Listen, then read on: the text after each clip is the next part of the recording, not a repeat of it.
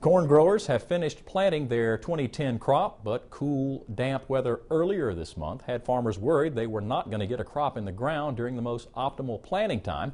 As this week in Louisiana Agriculture's Toby Blanchard reports, ideal weather conditions recently have given corn farmers an opportunity to catch up.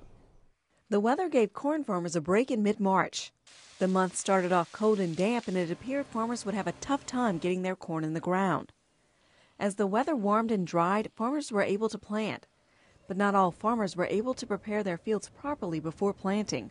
With some of the fields not getting a timely burn down, that is going to be uh, somewhat of an issue, something that we're going to have to watch. When farmers don't treat their fields for weeds called a burn down, weeds can become prevalent in the field, and they could rob the corn plants of nutrients, moisture, and sunlight. Weeds also could harbor insects that could become a problem for the crop. Crew says acreage is likely around 600,000, similar to last year. Prices have come down in recent years, which are keeping acres from increasing.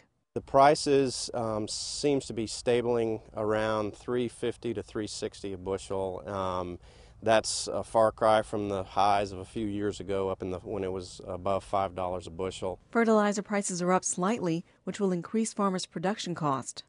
As growers finish planting their corn, some are preparing to plant soybeans.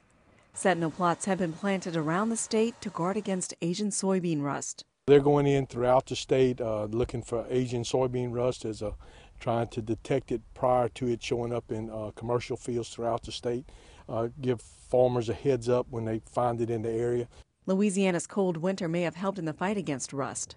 Levy also says farmers looking to plant soybeans should get their seeds booked because seeds of some popular varieties may be in short supply.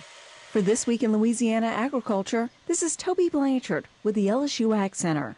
Louisiana could see an additional 100,000 acres of soybeans this year. Last year, growers planted around a million acres.